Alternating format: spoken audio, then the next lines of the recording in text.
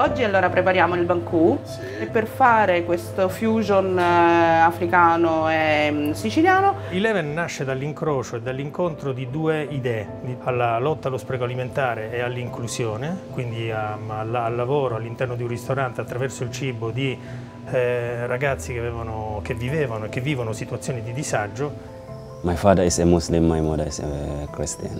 After that, my mother is died. It's difficult. After then I live it in my country. This is why I live it there. I start learn another life. I go to schools. I learn pasta. yeah.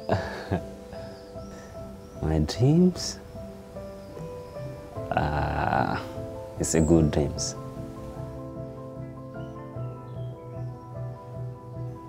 I want to have families. I want to do a lot of things.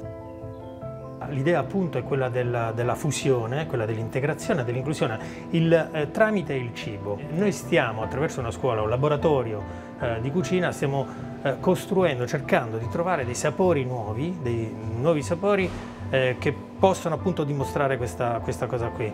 It's from north of Italy to the south of Africa with polenta and this smoked paprika. Mm. Ok.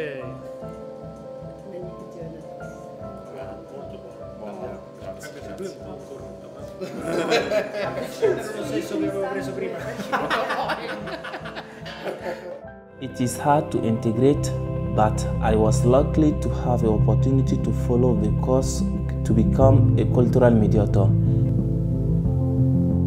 A lot of people think these people who arrive are bad.